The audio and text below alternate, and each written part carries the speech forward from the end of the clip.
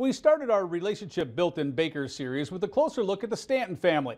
The pair of Schillinger boys came around about a decade later. Jason Shann were influenced by their father Jim and Uncle Don. Jeff Roberts has the story. Montana is known as the Treasure State, and the Schillinger name is like gold.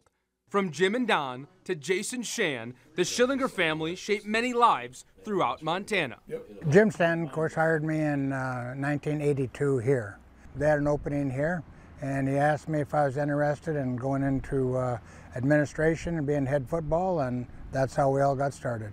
It started a 29 year stretch that helped earn Don a place in the Montana Coaches Hall of Fame.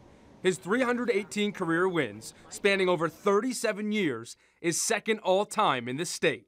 I think he took so many average players and just made them really good players that maybe weren't they weren't great football players, but it was about the team. And I think those guys were so inspired to to do well for the team. And I think that's what the foundation happened for many years in Baker, you know. The football gene in Jim and Don Schillinger was passed down to the next generation. After winning three titles in Baker in the early 2000s, Shann Schillinger had a Hall of Fame career for the Montana Grizzlies. That led to a four year stint in the NFL. Well, I think Shann just got it from the beginning, and obviously he grew up, uh, you know, with a family that uh, that helped mold that thinking, and with an uncle and grandparents that helped mold that thinking. So he had all the foundation to do really well. You know, I remember all the brothers came out and watched me play. Uh, the Stanton brothers come watch play, and it just goes to show you there's many, many levels to this relationship, and um, it's obviously one that uh, means a lot to us. That relationship with the Stantons helped Shann land a role coaching the receivers at Dickinson State in 2013. Ten years later, he earned his first head coaching gig at the University of Mary.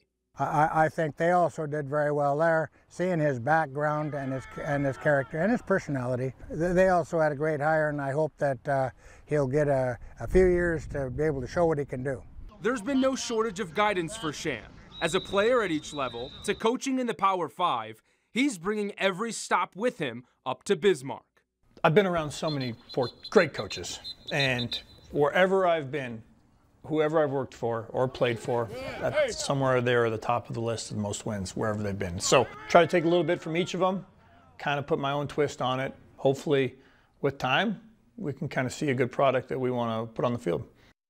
Well, Shann mentioned how big of a help Pete has been in his first head coaching position. Tune in tomorrow for the third and final part of the series where Jeff gives us a deeper look at the relationship between the, those two families.